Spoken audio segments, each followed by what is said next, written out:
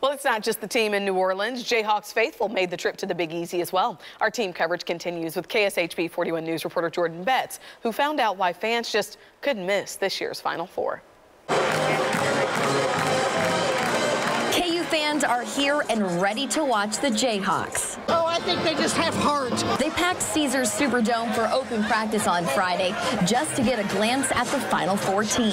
I like seeing how we're looking, how confident we are, and it'll like give me a good assessment for tomorrow. I like seeing them, like he said, get loose, and uh, I think it really helps their confidence. One OP couple knew KU would go this far. I got my plane tickets back in January, like the first week of January. All because they love this team. I used my points, and cooler, one fan has a connection to Allen Fieldhouse and drove 600 miles for this moment right here. Just always been my team.